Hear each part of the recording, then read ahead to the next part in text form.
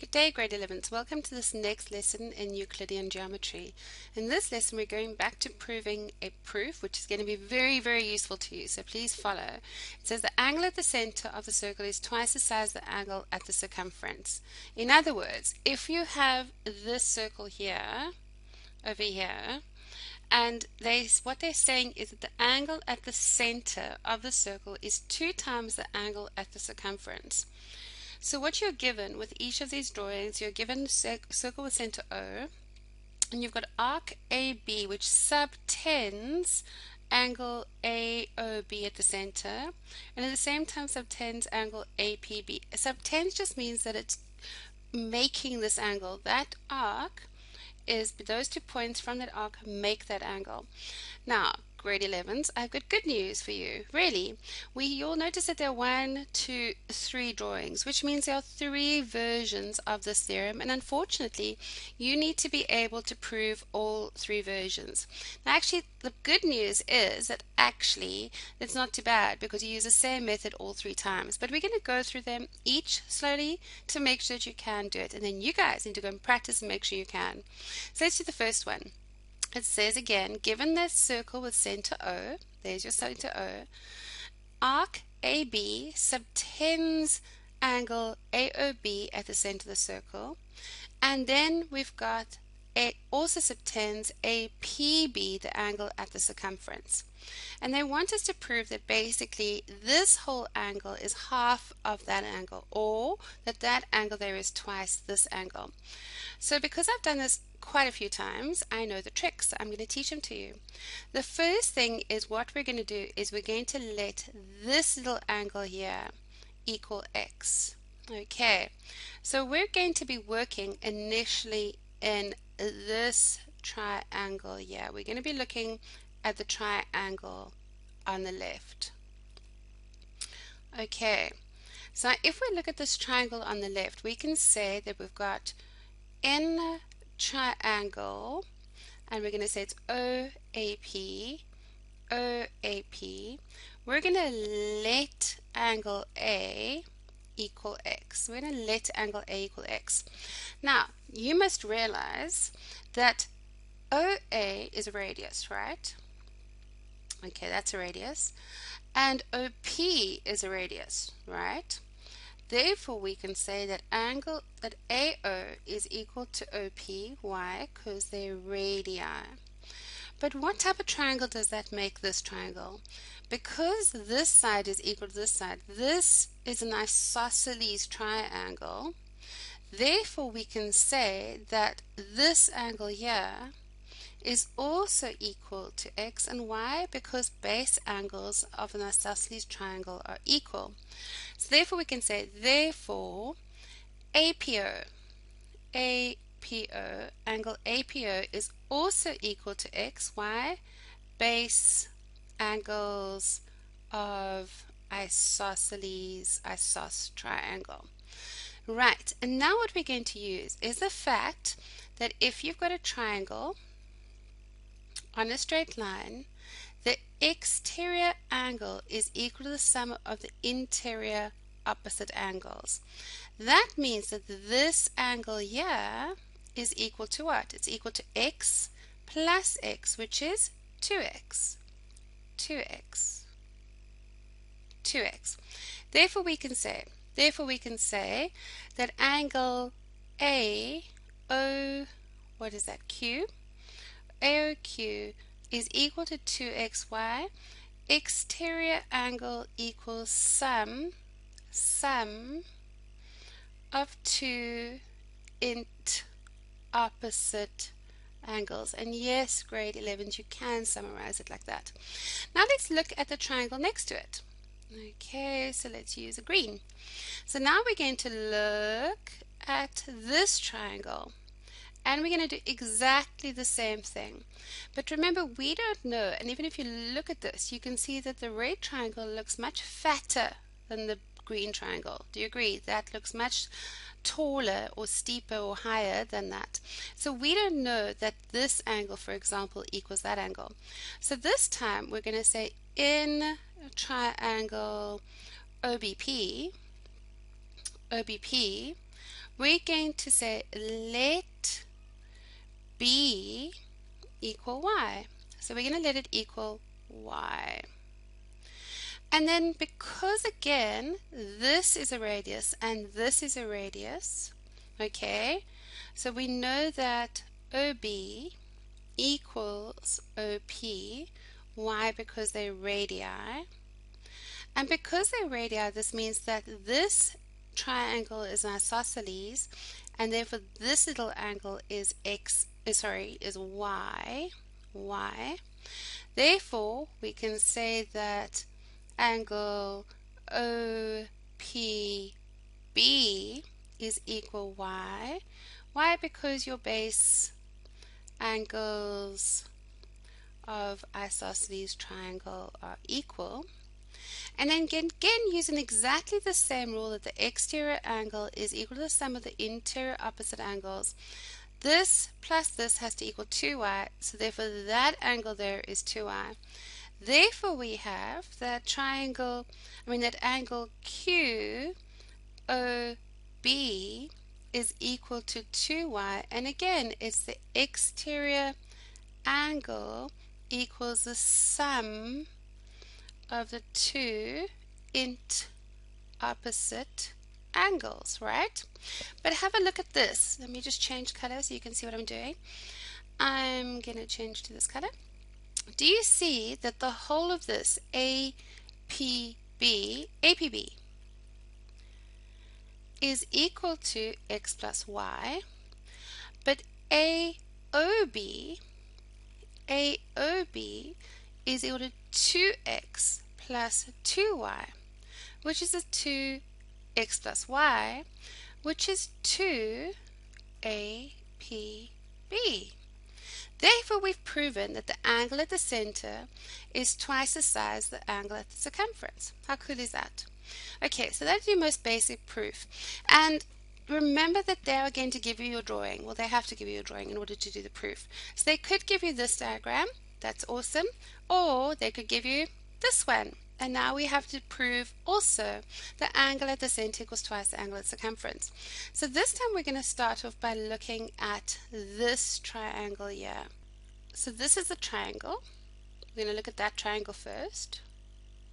So we're going to say in triangle OPA, we're going to see that, do you see that OA and OP are equal because they're radii? So this is equal to that. Agreed? Therefore, we can say, therefore, hang on, we can say that OA, I haven't written it, equals OP. They are radii. Right? So we're going to let angle OAP, OAP equal x. So that there is x. Therefore, angle OPA also equals x, y.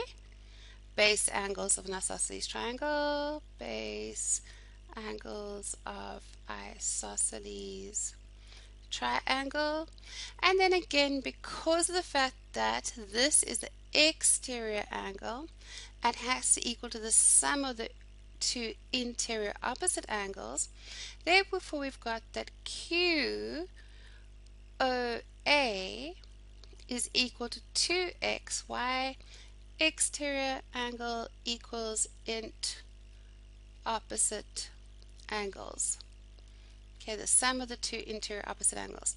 Now let's do the next triangle. Okay, and let's choose a blue. So now I'm going to do this triangle here. And again, this triangle doesn't have to be equal to that triangle, doesn't have to be congruent to do this. But you will see again that this is equal to this. Why? Because they're radii. So we're going to use the same technique. So we're going to say in triangle, OPB. OPB. We're going to say that OP is equal to PB. Why? Because they are radii. Then we're going to say, okay, fine, we're going to let OPB, angle OPB, equal y. So I'm letting this angle here equal y. Therefore, therefore angle OBP, OBP equals Y, and why is that? What's the reason? It is base angle of isosceles triangle. Therefore, again, because the exterior angle is the sum of the two interior opposite angles, we've got QOB is equal to 2y, because that's y over there. Therefore, we've got O, sorry, QOB is equal to 2y.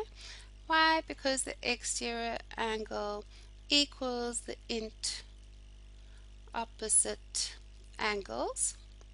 Okay, now if we look at this again, and again I'm going to change my color so you can see what I'm doing. And I'm going to change to red. You will see that we've got the whole of this. Therefore, we've got A, P, APB, APB is equal to x plus y. AOB, AOB is equal to 2x plus 2y which is 2 times x plus y, which is equal to 2 times a, p, b. Therefore, we can say that the angle at the center is twice the angle at the circumference. Right, one more. Okay, so this time we're doing it exactly the same, but a little bit, the reason this one's a bit tricky is to see the triangle. So let's do the first one, which is obvious. We're going to look at that triangle there. Okay, that triangle there. So if we look at that triangle, so we're going to quickly write it. In triangle, what is it? OPB. OPB. We know that OP is equal to OB. OP is equal to OB. Why? Because they are radii. I'm going to let, let OBP, OBP equal x. So I'm going to let this be x. Therefore, angle OPB is equal to x as well. Why? Base angle of isosceles triangles, that's also x. And then if we look carefully, you can see that this whole bit here. So the QOB is going to then be equal to 2x. QOB. So therefore, QOB equals 2x. Why? Because of the exterior angle equals sum of two int opposite angles. Now let's change color. And let's go to green. Now we're going to look at the next triangle. The next triangle is a little bit more complicated to see. It's this one here. Okay, that one there. And again, you can see that this is a radius and that's a radius. So therefore we can say in triangle OPA, OPA, we've got that OP is equal to OI, OA. Why? Because they are radii. Then we therefore let this teeny little angle equal y. So angle OAP is equal to y. Therefore, for the same reason, this teeny little angle over there is also equal to y. Okay, so therefore we say, therefore, angle OPA, OPA, OPA is equal to y. Why? Because it's the base angle of isosceles triangle. Therefore, and now you have to be careful, it's this dotted line going to the solid line here. So it is going to be QOA is equal to 2y and y because the exterior angle equals the int opposite angle sum. Okay, just another way of writing it. So now, and here's with this, this is the only example that look, gets a little bit tricky. So this one is a little bit tricky and I'm going to choose that cut over there. So now, do you see that the whole of this is x and the whole of that little bit there is y. So if we were looking at the angle being subtended by this arc, the angle being subtended by that arc is actually going up here and down, back down to there. So therefore, angle APO is actually equal to the whole of x minus this tiny green bit, which is y. So that's x minus y. And similarly, if you look at the angle at the center that is being subtended by this arc, you can see that angle AOB, okay, so there, that's supposed to be a B, okay, AOB is going to be the whole of this, which is 2x, minus the tiny green bit, which is 2y. So this is equal to 2x minus 2y, which is therefore 2 times x minus y, which is 2 times APB. So you can see that this proof is slightly different from the other two where the other two we were just adding the whole time. This time you had to see that the one was included in the other one and therefore you had to subtract them. Now grade 11s we are going to do examples where we practice using these theorems but you need to know the proof. I guarantee you that between now and the end of matric you will have to prove this proof at least once in your exams. Please go practice, practice, practice. Make sure you understand and can do all three versions and then we will carry on with doing some practice examples in the next lesson. Have a lovely day.